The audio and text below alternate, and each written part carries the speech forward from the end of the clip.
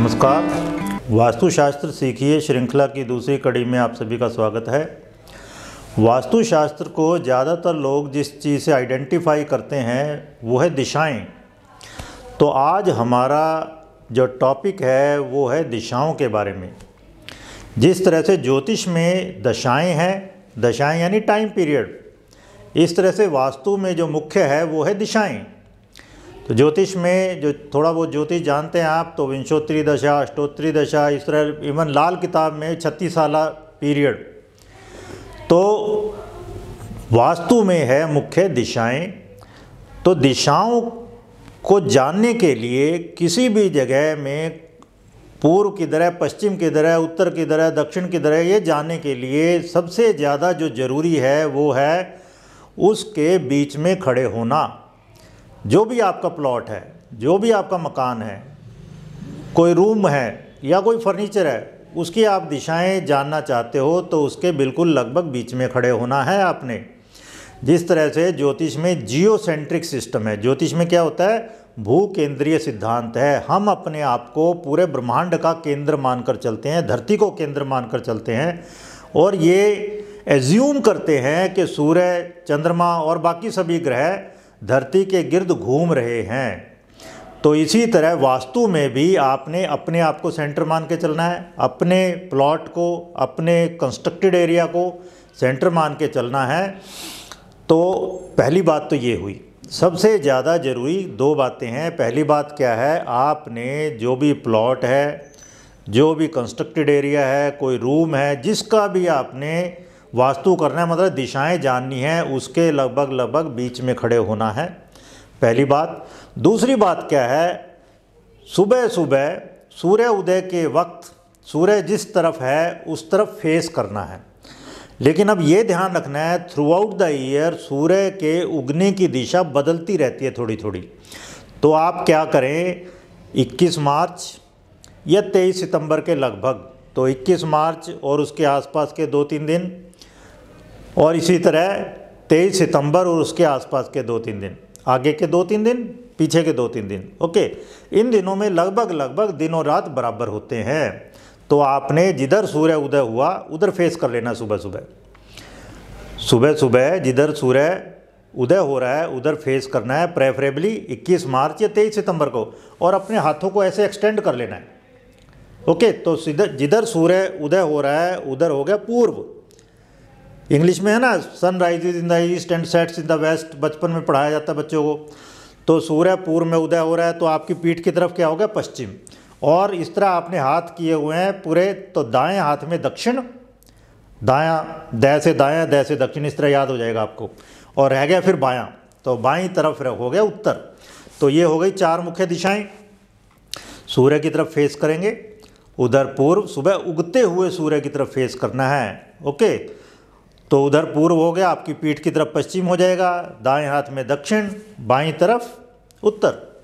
तो ये हो गई चार मुख्य दिशाएँ फोर मेन डायरेक्शंस और कार्डिनल डायरेक्शंस कह देते हैं इनको। फिर आइए, कोणीय दिशाएँ हैं, चार कोणीय दिशाएँ हैं वास्तुशास्त्र में, उत्तर और पूर्व के बीच में उत्तर पूर्व। उत्तर और पूर्व के बीच में कितना एंगल है? 90 डिग्री तो इसका आधा कर देना है 45 डिग्री। तो नॉर्थ एंड ईस्ट के बीच में क्या हुआ? नॉर्थ ईस्ट उत्तर पूर्व, या इसको स्पेशल नाम है भारत में वास्तुशास्त्र में ईशान। ईशान्य, ईशान। ओके तो ये ईशान दिशा हो गई। ईशान क्या है? उत्तर पूर्व। फिर आइए दक्षिण और पूर्व के बीच में इसी तरह 45 डिग्री पे एक लाइन ड्रॉ करनी है। तो दक्षिण पूर्व दक्षिण पूर्व को स्पेशल नाम दिया गया है वास्तुशास्त्र में आग्नेय आग्नेय अग्नि की दिशा। ओके जिस तरह ईशान थी, ईशान्य या ईशान, ईश की दिशा, ईश हैं भगवान शिव। तो साउथ ईस्ट क्या हुई? आग्ने, अग्नि की दिशा। अग्नि को भी देवता माना गया है। वेदों में बहुत ऋचाएँ हैं, अग्नि से संबंधी। फिर आइए दक्षिण और पश्चिम के बीच में इसी तरह। 45 डिग्री पे लाइन ड्रॉ करनी है तो ये होगी साउथ वेस्ट। दक्षिण पश्चिम, साउथ वेस्ट। साउथ वेस्ट को कहा गया नैरित्य निवृत्ति की दिशा निरृत्त नैऋत्य की दिशा, इसको हम बाद में एक्सप्लेन करेंगे और डिटेल में अभी इतना ध्यान रखिए बस। नैऋत्य इसको ढंग से थोड़ा सा प्रोनाउंस करना है। नैऋत्य फिर आइए नॉर्थ वेस्ट उत्तर और पश्चिम के बीच में नॉर्थ वेस्ट वायव्य। इसको स्पेशल नाम दिया गया वायव्य, वायु की दिशा, वायव्य। तो अब चार कार्डिनल डायरेक्शन होगी, मुख्य दिशाएँ कौन कौन सी हैं? उत्तर पूर्व, दक्षिण, पश्चिम। फिर चार कोणीय दिशाएँ हो गई, ईशान आग्नेय नैऋत्य और वायव्य। तो इसको हम यहाँ पर आपको दिखा रहे हैं, एक स्क्वायर प्लॉट में, एक स्क्वायर प्लॉट में थ्री बाय थ्री ग्रिड बना दिया हमने। नौ पार्ट कर दिए, नौ इक्वल पार्ट कर दिए। तो ईशान नॉर्थ ईस्ट ओके फिर पूर्व आग्नेय दक्षिण नैऋत्य पश्चिम, वायव्य। और जो बीच में जगह रह गई, उसको कहते हैं ब्रह्म स्थान ब्रह्मा जी की जगह। ओके, अब इन सभी दिशाओं के, जिस तरह ज्योतिष में ग्रह है ना, इन सभी दिशाओं के स्वामी ग्रह भी हैं, और फिर दिक्पाल भी हैं। दिक्पाल यानी डायरेक्शनल लॉर्ड दिशाओं के स्वामी। तो हर एक दिशा का एक स्वामी ग्रह भी है। और एक दिक्पाल भी है। तो वो मैं थोड़ा ब्रीफ में आपको बताता हूँ। ईशान दिशा के स्वामी है महादेव, शिव, ईश भी नाम है उनका। तो उनके बहुत सारे नाम हैं, आपको पता है, विष्णु, सहस्र नाम है इस तरह। इस तरह भगवान शिव के भी हज़ार नाम हैं। ओके तो ईश भी कह देते हैं उनको, महादेव भी, शिव भी। तो ये यहाँ पर ईशान जो है ईश की दिशा है। ईश यहाँ के हुए दिग्पाल डायरेक्शनल लॉर्ड दिग्पाल। और यहाँ के ग्रह हैं बृहस्पति बृहस्पति या गुरु, जो कि ज्योतिष में सबसे शुभ ग्रह माने जाते हैं। जो, ज्योतिष में कहा जाता है ना, बृहस्पति जहाँ भी बैठे हों या जिस भी भाव को देखते हों, वहाँ के सवा लाख दोषों को दूर कर देते हैं। तो ईशान दिशा के स्वामी ग्रह हुए बृहस्पति और यहाँ के दिग्पाल हैं शिव, ईश। अब आइए पूर्व दिशा। पूर्व दिशा सनराइज इन द ईस्ट सूर्य पूर्व में उदय होता है तो सूर्य यहाँ के ग्रह हो गए। इजी है, याद करना। सूर्य यहाँ के पूर्व दिशा के स्वामी ग्रह हैं और जिस तरह सूर्य सोलर सिस्टम के बिल्कुल बीच में है, किंग है वो सोलर सिस्टम के। सभी ग्रह उनके गिर्द घूम रहे हैं। इसी तरह देवताओं के किंग कौन है? इंद्र। तो इंद्र हो गए दिग्पाल पूर्व दिशा के। पूर्व दिशा के दिग्पाल हुए इंद्र। अब आइए आग्नेय दिशा। आग्नेय दिशा ज्योतिष में जो ग्रह है, शुक्र। शुक्र ग्रह आग्नेय दिशा का स्वामी है। शुक्र ग्रह आग्नेय दिशा का स्वामी है। और अग्नि से आग्नेय बना है तो अग्नि यहाँ के दिग्पाल हो गए, कोई मुश्किल नहीं है याद करना। तो अग्नि जो है, अग्नि देवता हैं, वो यहाँ के दिग्पाल हो गए, आग्नेय दिशा के। अब आइए दक्षिण दिशा। दक्षिण दिशा गर्म है। सूर्य क्या है, पूर्व से उदय होता है और दक्षिण से होते हुए पश्चिम में छुपता है। तो दक्षिण में थ्रू आउट द ईयर तीन सौ पैंसठ दिन हमें गर्मी मिलती रहती है दक्षिण में। तो दक्षिण दिशा में बहुत गर्मी मिलती है और गर्मी, शरीर की गर्मी का कारक ग्रह कौन सा है? ज्योतिष में वो है मंगल। तो मंगल हो गया दक्षिण दिशा का स्वामी ग्रह। ओके। और यहाँ के दिग्पाल दिग्पाल हैं यम। इस दिशा को याम्य भी कहते हैं। दक्षिण दिशा को वास्तु में याम्य भी कहते हैं। यम से बना है वो याम्य तो ये यम की दिशा है तो यम यहाँ के हो गए दिग्पाल। अब आइए नैऋत्य नैऋत्य दिशा का स्वामी ग्रह है राहु। राहु, ज्योतिष में राहु। कारक है जहर का, राहु कारक है पाखंड का, राहु का अंग भंग हुआ पड़ा है।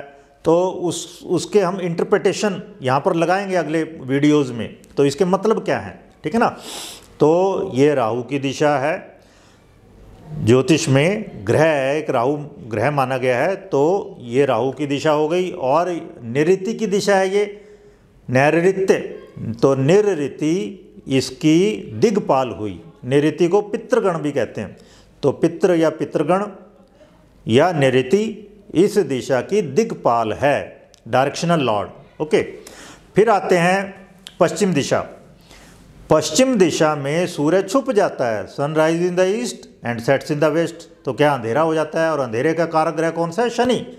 तो शनि यहाँ का ग्रह हो गया पश्चिम दिशा का और यहाँ के दिग्पाल हैं वरुण। वरुण। वरुण जो रहस्यमय संसार का स्वामी है, वरुण जो समुद्रों का स्वामी है। अब आइए वायव्य दिशा। वायव्य दिशा वायु की दिशा है। वायव्य दिशा का स्वामी ग्रह है चंद्रमा। चंद्रमा जो कि बहुत चंचल है, रोज़ अपनी कलाएँ बदलता है। तो वायु भी ऐसी है, वायु भी चंचल है, वायु भी स्थिर नहीं रहती, बल्कि जो बह रही है, जो चल रही है, जो गतिमान है, उसी को ही वायु कहते हैं। तो वायु की दिशा वायव्य। ओके तो वायु वायु यहाँ के दिग्पाल हो गई। वायु यहाँ की दिग्पाल है। अब आइए उत्तर दिशा। उत्तर दिशा का स्वामी ग्रह है बुद्ध और उत्तर दिशा के दिग्पाल हैं कुबेर। कुबेर जिनको के धनाधिपति कहा गया है, जो कि यक्ष हैं। तो ये आठ दिशाएँ मैंने बताई। आठ दिशाओं के मैंने स्वामी ग्रह बताए, आठ दिशाओं के दिग्पाल बताए। ओके, फिर दो दिशाएँ, एक ऊर्ध्व, एक अधो। ऊर्ध्व कह सकते हो आप आकाश और अधो यानी पाताल। तो ये दो दिशाएँ और है, आकाश, ऊर्ध्व दिशा के जो दिग्पाल हैं, वो ब्रह्मा जी कहे गए हैं। और इसके ग्रह जनरली निश्चित नहीं है, लेकिन आकाश क्योंकि विस्तृत है, विशाल है, अनंत है तो उसके स्वामी ग्रह बृहस्पति ले सकते हो। बृहस्पति क्योंकि एक्सपेंशन के एक्सटेंशन के कारक ग्रह कहे गए हैं, वृद्धि कारक ग्रह कहे गए हैं। ठीक है, और पाताल के स्वामी कहे गए हैं, वासुकी वासुकी जो कि who is king of cobras जो नागों के स्वामी हैं, वो पाताल लोक में निवास करते हैं। तो वो उनकी दिशा है और अधो दिशा, जनरली कोई उसके लिए ग्रह अलॉट नहीं किया गया, लेकिन आप उसके लिए शनि ले सकते हो, क्योंकि ईट, पत्थर, रोड़ी, इनका कारक शनि है, मिट्टी का कारक। उसकी दसवीं राशि शनि की तो वो पृथ्वी तत्व की राशि है। ओके, शनि के संकोच का कारक है। पृथ्वी लिमिटेड है, आकाश अनंत है। तो ये मैंने आपको दस दिशाएँ बताई, चार मुख्य दिशाएँ, उत्तर, पूर्व, दक्षिण, पश्चिम, फिर चार मैंने कोणीय दिशाएँ बताई आपको।